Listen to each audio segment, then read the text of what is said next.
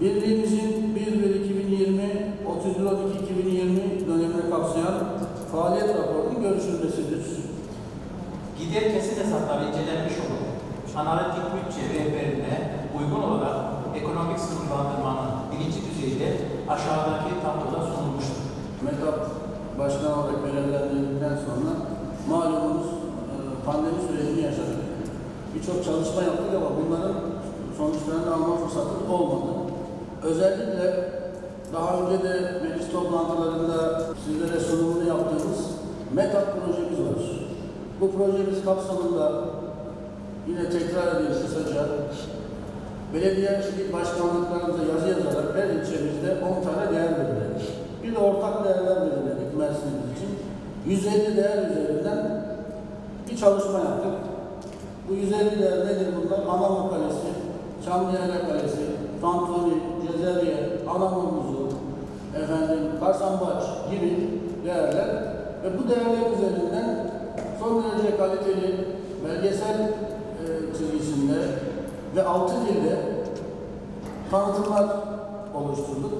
Hem görsel hem sesli olarak ve bunlarla ilgili her e, yerimize de e, belirlediğimiz her değeri, mesela Anamur Kalesi'ne bir karekod, Kız Kalesi'ne bir karekod. İnsanlar buralardan gezdikçe puan kazanacaklar. Bir bilgisayar, telefon aplikasyon uygulaması yaptık.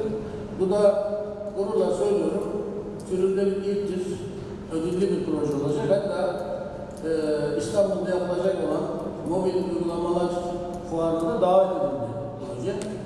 Şu süreçten dolayı geçen sene ve bu sene lansmanını gerçekleştiremedik ama e, çok şükür ki e, tünelin ucu göründü. Artık bundan sonra normalleşmeye doğru gidiyoruz.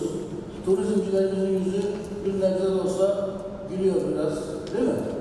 Rezervasyonlar kötü değil, fena değil. Daha da iyi olacak inşallah.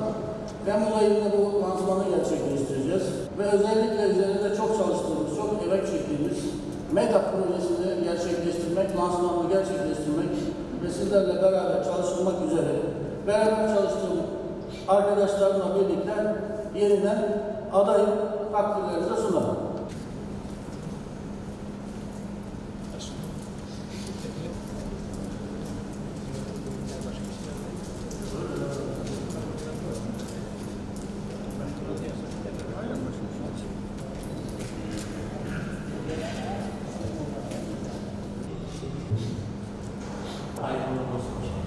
Mersin Turizmi'nin çalışmalarıyla ilgili hem yeni yaptığımız projeyle ilgili güzel şeyler yapacağız.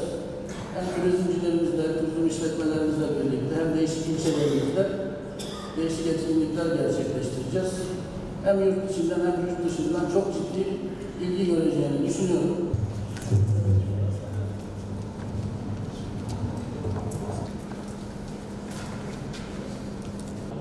Meclis birinci başkan vekili olarak İsmail Tepebağlı Bey 24 oyla, ikinci başkan vekili olarak da Hüseyin Kiraz Bey yine 24 oyla seçilmişlerdir. İki tane de boş oy vardır. Hayırlı uğurlu olsun. 1987 yılından beri turizm yapıyorum. Arkadaşlar öncelikle bizleri seçtiğiniz için hepinize teşekkür ediyorum. gerek doğası, gerek tarihsel dokusu belli ölçüde e, düzenlenebilir halde var.